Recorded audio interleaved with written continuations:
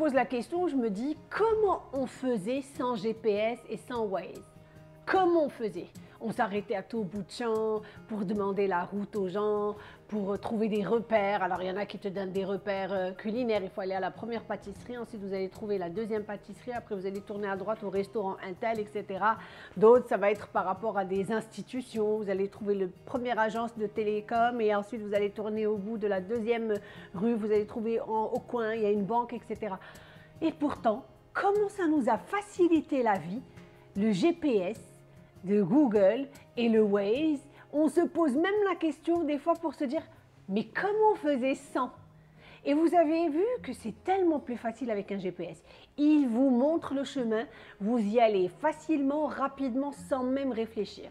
Et pourtant, on a un énorme GPS en dedans de nous qu'on n'utilise pas, qu'on n'active pas et on ne le met pas en mode on. Et ce GPS, je vais vous le raconter en histoire.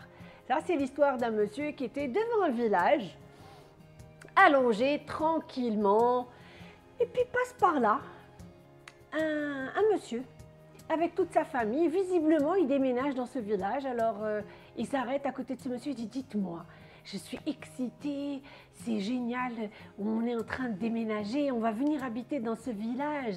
Racontez-moi comment ils sont les habitants de ce village, comment ça se passe?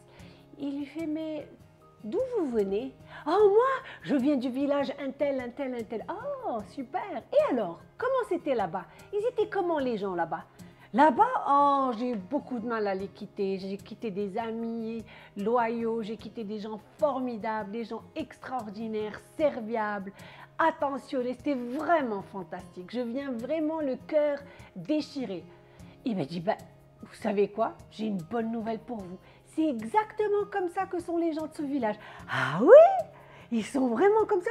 Oh ben alors on les chanceux. T'as vu chérie, c'est super. Il paraît qu'il y a des gens aussi fantastiques que ceux qu'on a laissés dans notre village. Et ils sont partis, le cœur léger, heureux d'entamer cette belle aventure humaine.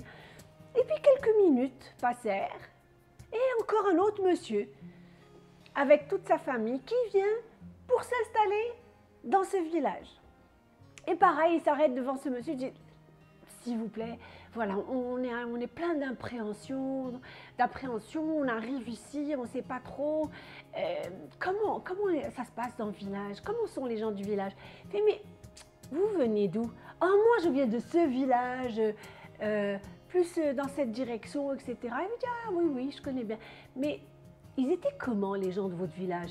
Ceux-là, là, une catastrophe. Des loupards, des euh, menteurs, des gens mauvais, des gens envieux, des gens agressifs. Je suis heureux, heureux, mais alors heureux de les avoir quittés. Ah, bah, je suis désolée, j'ai pas une bonne nouvelle pour vous parce que les gens de son village sont exactement comme ça.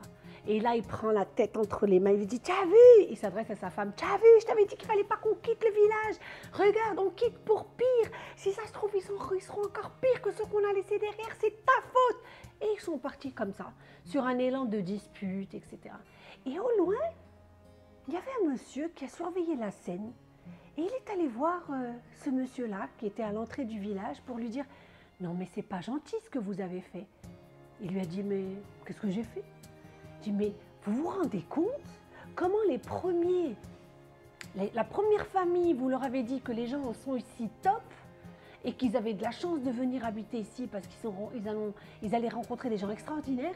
Et la pauvre deuxième famille, vous les avez découragés en leur balançant des choses horribles à la figure. Vous allez rencontrer des gens euh, minables, euh, menteurs, euh, agressifs. Il a dit, mais non, j'ai pas menti. Me dit, mais comment ça? Expliquez-moi, comment ça vous n'avez pas menti? Mais pour moi, c'est un gros mensonge. Je dis, ben non, chacun est venu avec quelque chose dans son cœur. Et ce qu'il a dans son cœur, c'est exactement ce qui va attirer.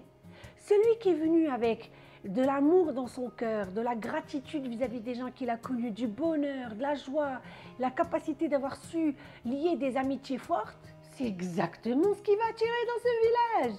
Et l'autre, qui est venu avec de la haine, de la colère, de, la frustration, de la déception.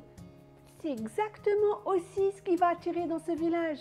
Voyez-vous, notre cœur est un GPS. Et quelque part, Si on ne le guide pas, c'est lui qui nous guide. Et il est capable de nous guider vers des choses magnifiques, belles, du genre de l'amour, la compassion, la bienveillance, la joie, le bonheur, la confiance, comme il peut aussi nous guider dans la haine, la culpabilité. Mais en fait, qui c'est qui gère ce beau GPS À votre avis? Je souhaite absolument pas répondre à cette question. J'aimerais vous laisser vraiment en méditation. Sachez que vous avez un GPS exceptionnel il n'est en rien comparable ni à Waze, ni au GPS de Google. Maintenant, est-ce que vous avez réellement envie, réellement envie de l'activer, de le mettre en mode on? pour avoir une vie extraordinaire Ça, ça dépendra que de vous. C'était Nahid Rached pour un nouvel épisode de 3 minutes pour changer de vie. Mon rêve, comme vous le savez, c'est de vous impacter influencer pour que vous changiez de perception de manière à ce que, à partir d'aujourd'hui, vous considérez que c'est possible de changer, c'est possible de le faire maintenant, c'est possible de le faire d'une manière instantanée et d'une manière durable. هذا هو الله يحفظكم